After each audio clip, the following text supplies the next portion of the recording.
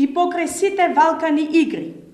Вие, почитувани граѓани, покажавте храброст и доблест и ни дадовте голема поддршка, зашто искрено ви благодариме.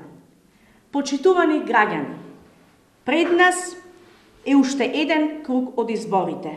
Не дозволувајте насилниците повторно да ви ја украдат победата. Не дозволувајте да ви го украдат вашиот глас. Не дозволувајте да ве купат со нивните валкани пари. На 7 април да излеземе уште помасовно, да гласаме за Менде Диневски, да го заокружиме бројот 42 и да ја срушиме оваа тоталитарна власт. Воспротивно, уште 4 години ќе останеме заложници на режимот и сведоци, како се крчмат и крадат нашите пари.